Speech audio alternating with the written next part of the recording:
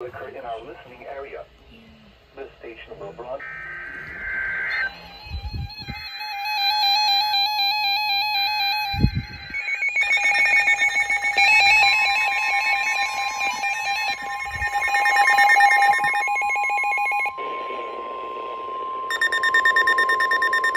The following is a special marine warning from the National Weather Service. The National Weather Service in Chicago has issued a special marine warning for nearshore waters from Wilmette Harbor to Calumet Harbor, nearshore waters from Calumet Harbor to Michigan City, open waters from Wilmette Harbor to Michigan City out to Mid-Lake until 9:45 p.m.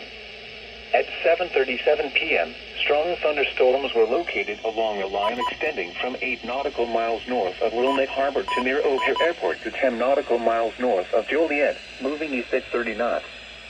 Hazard, wind gusts to 40 knots and small hail. Source. Impact, small craft could be damaged and briefly higher winds and suddenly higher waves.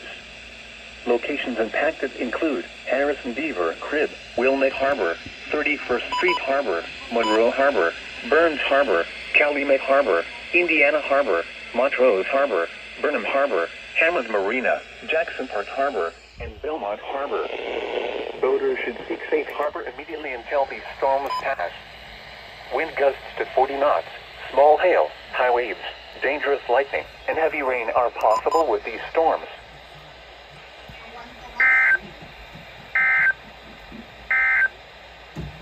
This is NOAA Weather Radio.